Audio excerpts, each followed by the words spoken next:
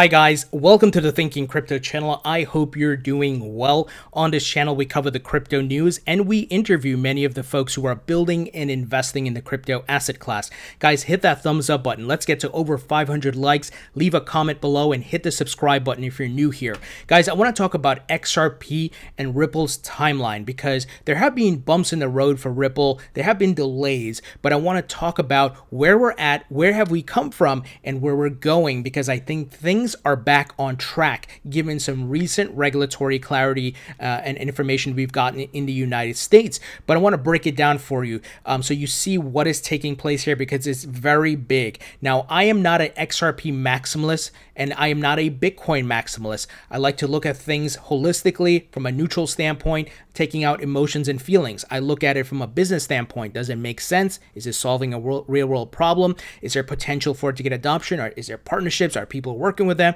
Right? So that's why XRP is the biggest holding in my portfolio at 26 percent but of course i'm bullish on bitcoin as well as the digital gold store of value currently at 14% and so on and so forth so i want to make sure that is clear now guys um, real re- quick for those of you who don't know, Ripple is introducing XRP as an instant settlement um, mechanism, a solution for the banks and, and central banks around the globe uh, uh, for cross border payments. Because right now there's no interoperability. Money is moved in days instead of seconds and minutes, right? You have Swift, which is outdated. Uh, we can now send, you know, you and I send each other videos and photos and texts and information in seconds, but you can't do that with money. Why not? Right? So this is where Ripple's coming in as a disruptor, bringing a um, technologically advanced solution and, and, positioning XRP as that bridge asset, a neutral bridge asset, where the different currencies around the globe can be uh, interoperable. Because right now, in order to fund cross border payments, there's dormant capital sitting in Nostro Vostro accounts around the globe. Now, how does Ripple position or bring this solution to the table? Who do they have to meet with? Who do they have to work with? Well, they have to work with the Bank of International Settlement. They have to work with the IMF because these are the folks who influence central banks. And we know they are working with central banks as well, Ripple themselves. But how do you get to the JP Morgans and the Bank of Americas? You have to go down that list, right? IMF, World Bank, Bank of International Settlements, then you work with the central banks around the globe, which influence the commercial banks in the respective regions.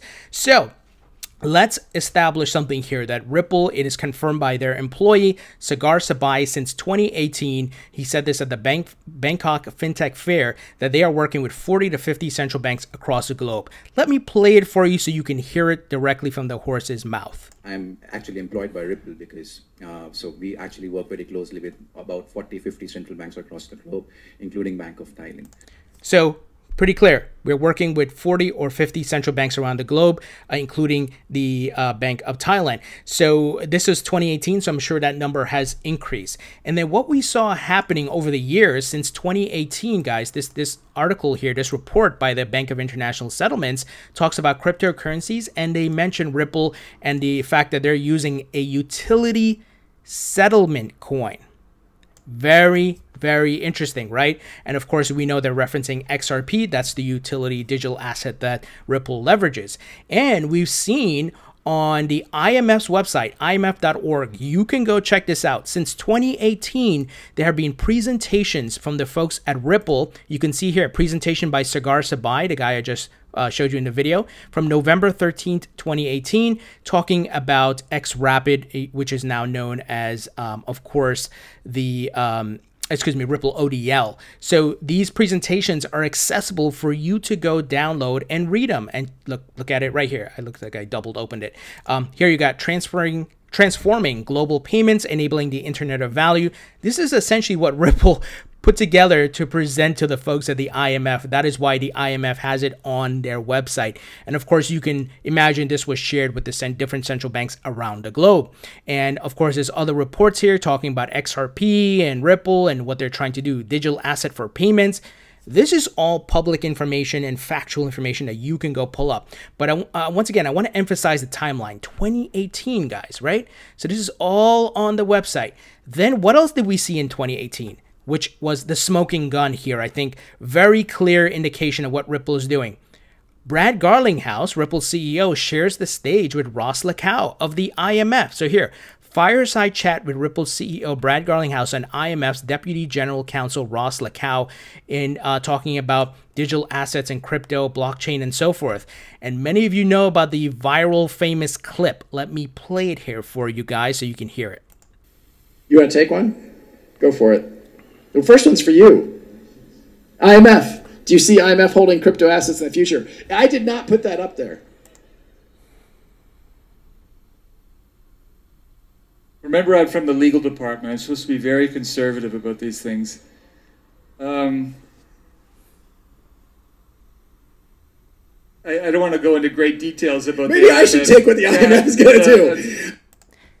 So, guys, I think that was very telling, right? Brad's body language, the humor, He's like, You want to tell them what's about to happen? Because the IMF is working with Ripple. Most likely, they're going to be enforcing, or I shouldn't say enforce, but suggesting and pushing the central banks to use XRP for cross border settlement in conjunction with holding possibly some XRP um, in, in some way. Uh, you know, I don't know the full details, but guys, I, want I want to bring this up because I want you to think about this. Do you see CZ, Binance's CEO, working with the IMF? Do you see the Winklevoss twins working with the IMF? Do you see Brian uh, Armstrong of Coinbase working with the IMF? All the respective people we know, the big players in the market, do you see them sharing the stage with the IMF and working with them, guys? Right? Do you see the IMF having information about uh, uh, Coinbase and you know different companies and so forth on on their website as they do with Ripple and XRP presentations from the company? food for thought. I want you to think about that. And and this is and this is facts. I'm not making anything up. It's pretty clear they have a working relationship. And furthermore, guys, uh, I'm going to show you some additional items here um, let me jump ahead a little bit, right? You all have seen this, and the majority of you, Brad Garlinghouse in the same roof as uh, roof, roof room as as Christine Lagarde and a bunch of people from the IMF. So this was shared by Jess Cheng, who, uh, of course, worked at Ripple at one point, and then she went to the IMF, and now she's at the Federal Reserve Board interesting. And she posted this photo last year. So this was 2019. And once again, I'm going to position this question, right? Ross Leckow is right here. Here's Brad. Um, pretty clear what's going on. They are in talks with the folks at the IMF and working closely with them, right? And then as a result, you know, after Brad spoke to, uh, well, I should say spoke to, but he had the conversation here at the Singapore FinTech Festival in 2018 he was interviewed later that, that year in December, right? And uh, by Breaker Mag, and he said banks will hold crypto in 2019. So Brad made a very bullish and bold statement here. That's that's something big because back then people were still saying, and this was last year, obviously, and um, early last year, where people are still saying Bitcoin's a scam, this is the crypto market's a fad, blah blah blah. So he's saying these things, and unfortunately, it did not come to pass. So let's talk about why. And before I go further, in 2019, we saw the World Bank started talking a lot about Ripple and XRP and so forth on their website. So you have um, you have the Bank of International Settlement, you have the IMF, and you have the World Bank. So here here's something: solutions are being actively tested in the market. In 2018, Ripple, a fintech company, piloted XRapid, which is now Ripple ODL, which leverages XRP, a DLT-based cross-border payment solution along with a, along the very competitive U.S.-Mexico corridor. Financial institutions involved in the pilot saved 40 to 70% in foreign exchange costs. So it works. And the average payment times was just over two minutes, guys. The transfer of funds on XRapid took two to three seconds, with the most of the processing time explained by domestic payment rails and intermediary digital asset exchanges. So it takes a matter of minutes compared to days, which Swift is doing. And this is the World Bank website, worldbank.org. Go check it out yourself, guys. I, I hope you're seeing what I'm establishing here and showing the facts that this thing is going to be really big. And once again, I'm not an XRP maximalist. I just look at things from a business standpoint and what is taking place around the world and what problems are being solved. Because you look at the Googles, you look at the Amazons, the eBays, and what they did come in and disrupt a market, bring a better solution, and that get, made them you know the 800 gorilla, pound gorillas in the room the, these powerhouses right? I mean these household names. And i think ripple is going to be uh, in the in the same category as a google eventually guys. And and we saw that the imf increase even in 2019 their their conversation around digital assets and cryptocurrencies. Right now, uh, we saw Christine Lagarde before she went to the EU central bank. Um, she was there talking about different things around crypto and talking about disruptors. Let me play this for you. Facebook. What kind of threat does this pose to the traditional banking system? Well, I think it's you, you have incumbents, the banks, commercial banks, and you have the disruptors. And clearly, the disruptors are having an impact on the incumbents. We just heard a very large uh, systemic bank here saying that they're launching their digital coin, uh, currently piloted in a way uh, within the institutional clients, but to be scaled beyond that. We heard from the European Central Bank that they are uh, they have launched in November something that is called TIPS, that enables all the banks in the eurozone to actually transfer. So I don't think I need to go further, but even Christine Lagarde started pushing the use of uh, digital assets and so forth and talking about the disruptors getting into the market. Now, who once again, going back to who are they hanging out with and who are they meeting with? Brad from Ripple. I don't see anybody there from Coinbase. I don't see eh, someone there from VeChain. I don't see anyone there from uh, representing Bitcoin, right? And once again, I'm not anti-Bitcoin. I, have sh- clearly shown my portfolio, but I'm showing you the facts here, laying the groundwork as, as to what's coming for us guys who are holding XRP. And big things are ahead because the, Brad and Ripple and these guys are rubbing shoulders with the people from the IMF. I mean, wow, what other facts do you need to see that they are working together, right? So, once again, Brad made his prediction, but unfortunately, it didn't come to pass well why? Why did that happen? And and um, i'm going to show you some more clips here but it's because we don't have the regulations in the us i think brad engaged with the imf the World Bank, the Bank of International Settlements, Ripple as a company, of course, did all this. But unfortunately, the folks in the US who control the regulations drag their feet. So let me play this clip here where he talks about CBDCs and how XRP uh, can still be leveraged because people, some people were putting the foot out there. Well, central banks are making CBDCs. XRP not, don't does you don't need a bridge asset. You still need a bridge asset because they're different currencies. Let me play for you. Payments problem. To be clear, we have not focused on the central bank digital currency issuance. Uh, our view is very much there needs to be interoperability globally. And even in a world of CBDCs, you still need interoperability to, to solve that problem. There you go. Even in the world of CBDCs, every central bank can launch their CBDCs. You still need interoperability, right? How do these different banks trust each other? How do you get the real-time settlement without having dormant capital sitting around globe, uh, uh, you know, in bank accounts globally? And this was at the Swiss National Bank conference, and of course, Christine Lagarde and a whole bunch of other central bankers were there. So, guys, I hope you see what's happening here and why I'm so bullish on XRP. Once again, um, and, and the photos shared here with Brad uh, hanging out with those folks. So, let's move ahead, guys, because what happened in Davos this year, World Economic Forum? Brad called out Steve Mnuchin. Steve Mnuchin was there and all the world leaders, everybody. He tweeted at him saying, Steve Mnuchin at the World Economic 2020, of course, when asked about cryptocurrencies, here's what he said There are benefits to cross border payments in lowering costs for consumers and businesses. We absolutely support companies working on this. Well, who's working on cross border payments, guys? Who's trying to solve that problem? Ripple. Pretty clear, right? I think it's pretty obvious what's going on here. But what did Brad say? Critical to apply this pragmatism to the US regulation. So don't give me nice stories and say, oh, yeah, this company's doing great things here. Pass the regulations, mofo. Get it going. And Mnuchin, I believe, was the linchpin. He was the one that's slowing everything down. And uh, look, he could have been uh, obviously waiting for Trump to maybe give a go ahead, but I think it's from him. I think he's the one. That's why Brad called him out directly. And then what did we see at Davos, guys? This this was pretty revealing. This was like the nail here in the coffin for Swift, I believe, um, because the World Economic Forum put out central bank digital currency policy toolmaker. So, hey, central banks, start building it. Center for the Fourth Industrial Revolution, j- dated January 2020. So, when I search for XRP in this document, many of you have seen it. Most relevant for wholesale CBDC. Examples JPM coin XRP. And, and the subheader here is crypto assets designed for inter or intra-bank payments and settlements. That's big.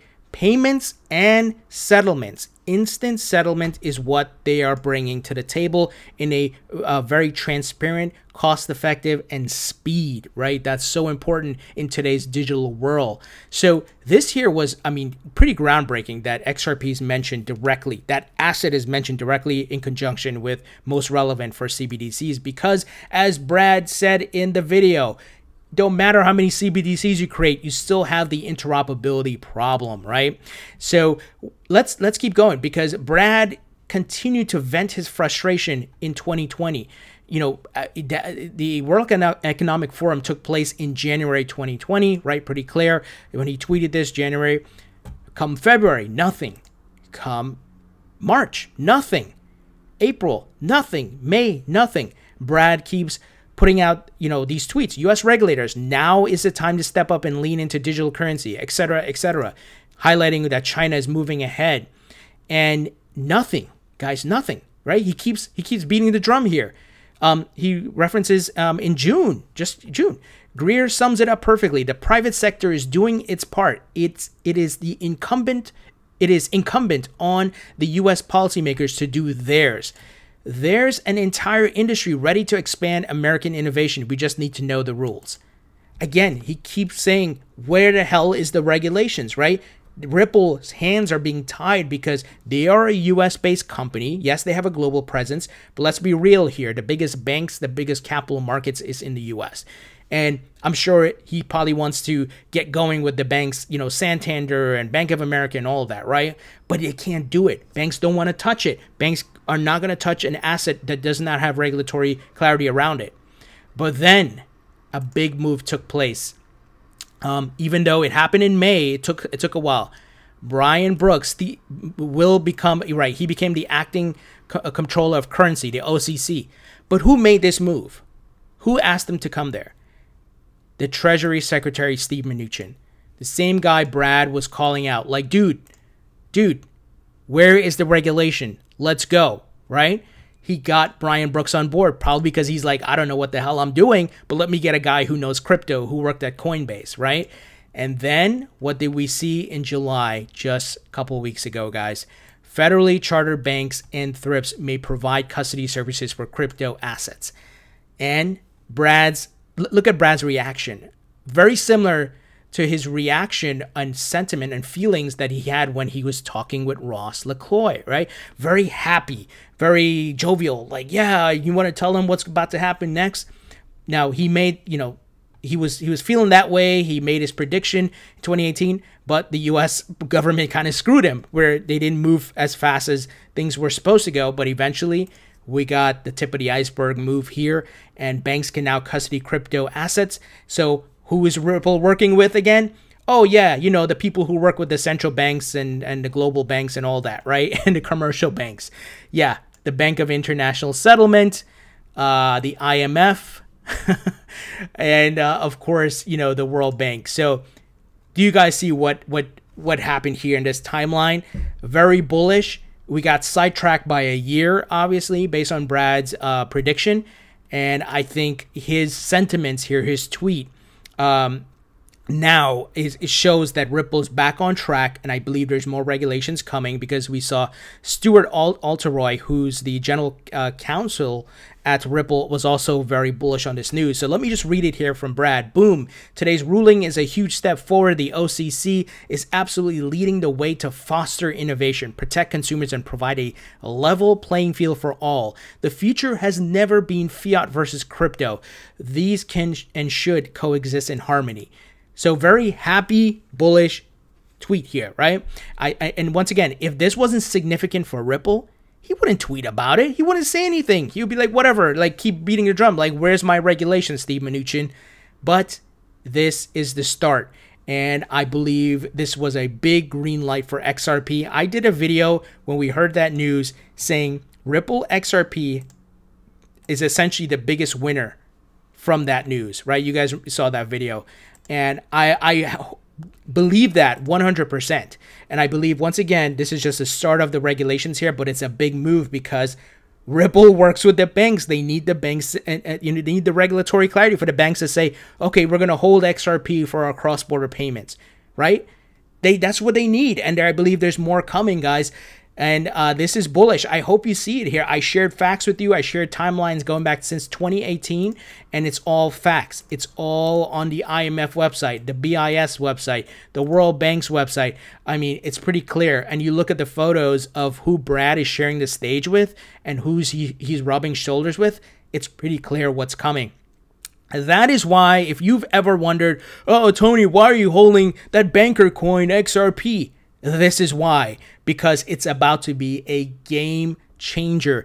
It is about to disrupt a trillion dollar problem, a global problem, and it's going you know, they're going to be working with central banks, commercial banks around the globe.